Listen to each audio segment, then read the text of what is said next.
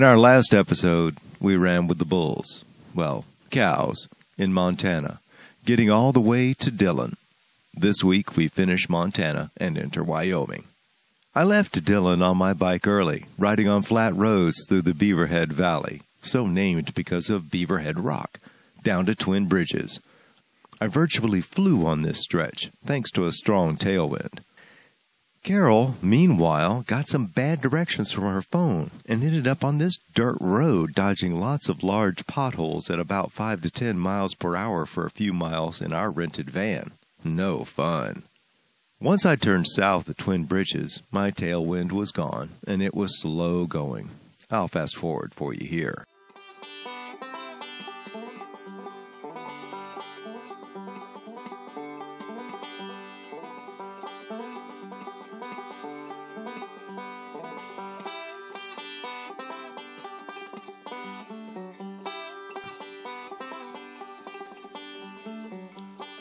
Eventually, I got to Alder and Sheridan, where I met up with Carol amidst road construction, and we took a break for coffee and some pastries. Carol had time to smell the lilac, too.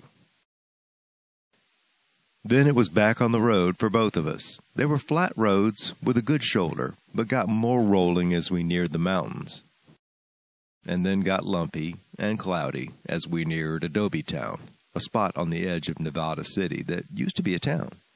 I kept rolling to Virginia City in search of lunch and met Carol at Nacho Mama's. Virginia City is an interesting place, so we sightseed for a bit before the ominous skies spurred me on. Carol stuck around to explore, learning more about a hanging that made the town nefarious for a while, and then headed to the pass as the rain began.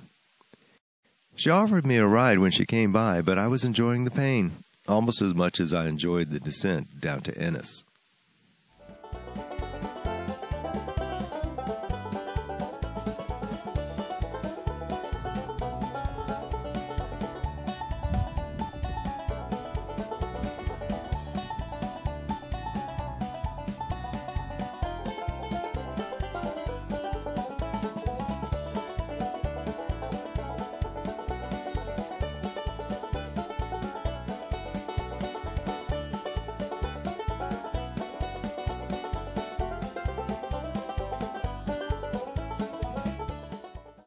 Little wet? Little wet. How was the descent? Great descent. A lot of fun. Wasn't that view gorgeous? Yeah. Carol had already checked us in, so I rested my tired legs at the hotel as she went to do laundry, which is often a challenge on the road. Then we drove to the local bowling alley slash restaurant for dinner. Service was painfully slow thanks to a shortage of workers, a common problem that we saw on this trip. I miss you, baby. Miss you too. Love you. See you in 20, 30 miles. Have a fun ride. The next morning, I left Ennis, riding through the pretty touristy area, and then got dumped onto the real road. The posted but ignored speed limit was 70 miles per hour, and the bit of shoulder left for me was barely two feet wide. With the crosswind, that was tough riding.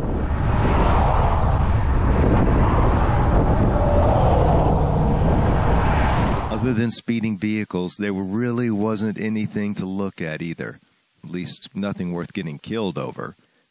So I called an audible. I pulled over and waited, and when Carol came by, we put my bike in the van for a few miles. Then I got out where we decided it was safe again.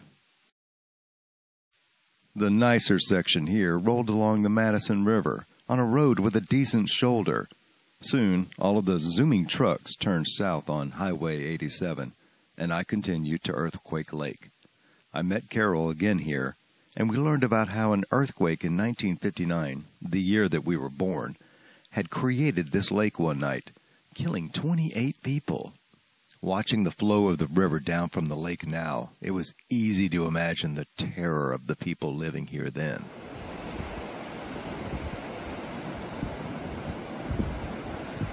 We both continued up the road from here, heading to Hebgen Lake. Carol and I reconnected at the dam, where a sign warned us that there were bison out on the roads. Of course, neither of us saw any that day, but forewarned, we rode on. A few miles later, I ran into another cycling tourist, and we stopped to chat. He was the first rider we had seen on this route. Tell me who you are again. Craig Craig from Tacoma, from Tacoma, yeah. Puget Sound. All right. At the end of the lake, I got on busy US 191 to go to West Yellowstone.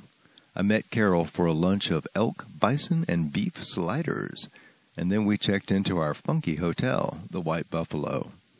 Later, we walked to a Chinese restaurant for dinner, where I got this prescient fortune in my cookie. The next day, I walked my bike out through the crowded lobby and biked into Yellowstone Park, crossing into Wyoming near the park gate. I had already purchased my ticket, which Good made morning. it easier to How are get you in. today? How are you?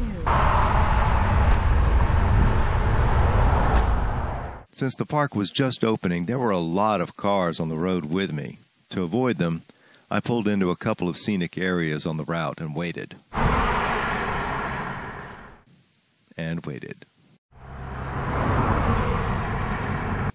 And waited.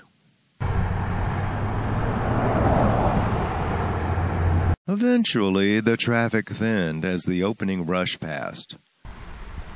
There were people enjoying the river by fishing in it, and other creatures were wading in it.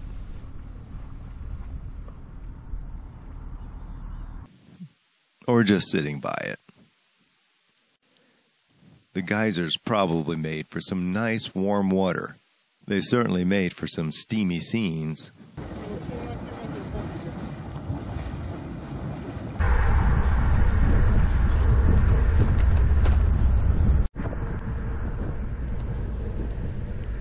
There were hissing geysers, green geysers, smoky geysers, showy geysers.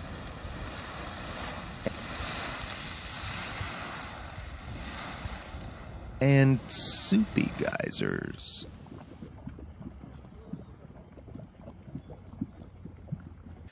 Carol enjoyed the geysers and toured two sets of them, but I went straight to the Mac Daddy geyser itself. Old Faithful. I arrived just in time for its next scheduled eruption.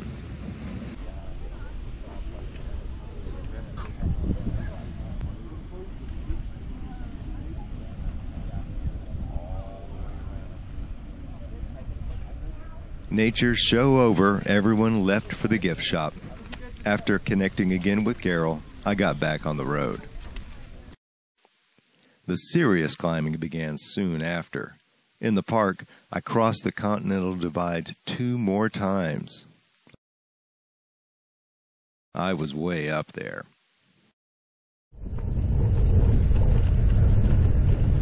Unfortunately, there was a lot of construction on US 191, which was the only road I had for the remaining 60 miles of my planned route. Carol went by and offered again to ferry me past the bad stuff. But this was the climbing, and I wanted to do that. Eventually, with a cold rain coming in, we met up at the little Grant Village Mini Mart, the only food option for miles.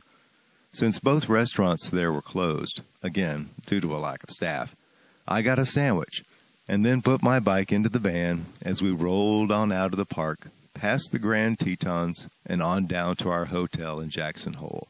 Since this was our last day with the van, we ran some final errands and had a fast food dinner before turning in for the night at our hotel.